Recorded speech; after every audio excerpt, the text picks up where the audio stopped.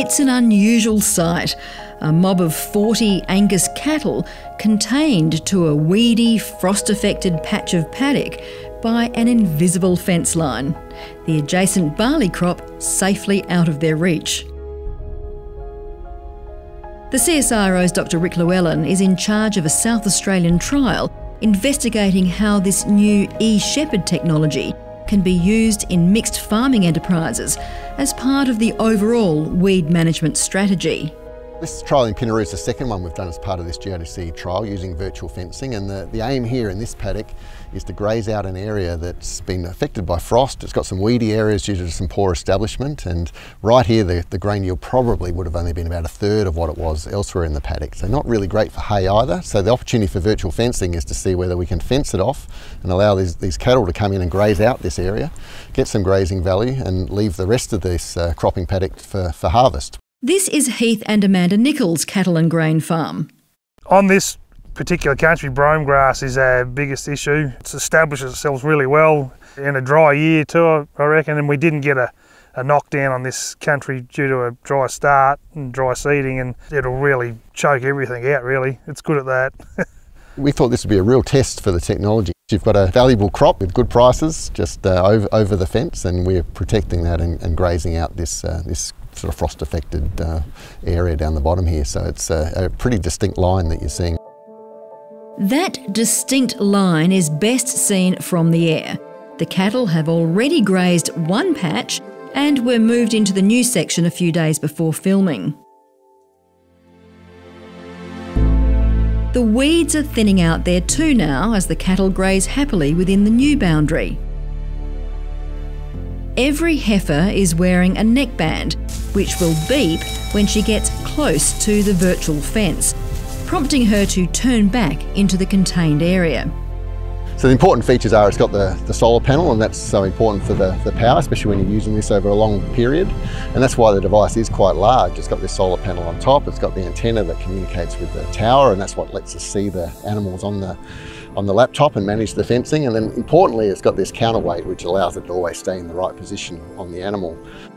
Heath Nickolls has been surprised by the effectiveness of the virtual fence line.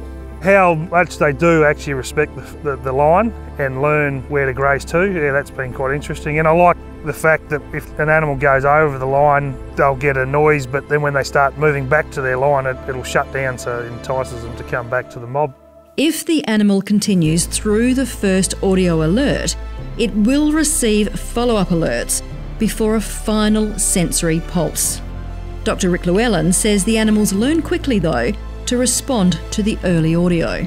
The good thing about this technology is that the developers uh, with CSIRO, based at Armidale, led by Caroline Lee, I mean, they're animal welfare scientists, so a lot of this background work's been done to, to get it through and show that it is safe and the, the animals are happy when it's uh, being applied. So that's really important to us.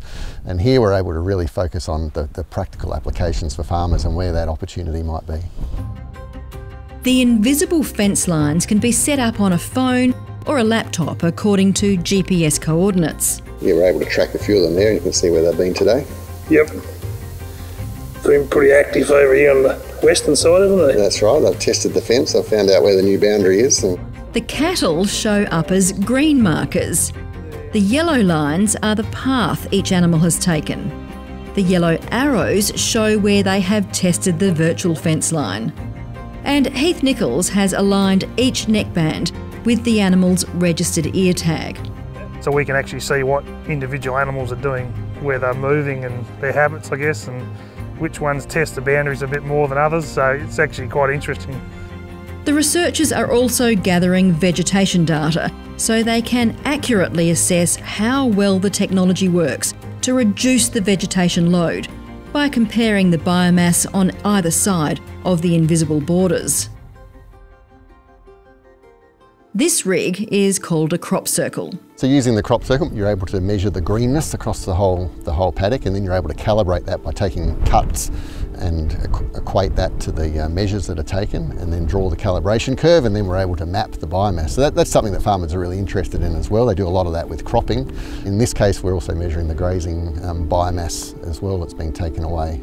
This is the second trial in this weed busting program. The first was conducted at Long Plains, north of Adelaide. It was a vetch crop that was going into pasture, so we wanted to graze it hard, uh, controlling weeds before it went into the, uh, the next crop. And being ryegrass, we were able to graze it hard using this, this approach, and we ended up halving the, the number of ryegrass seed heads in that, in that trial by, by tackling it hard, and also at the same time managing the ground cover on that, on that area as you head into summer, which is really important.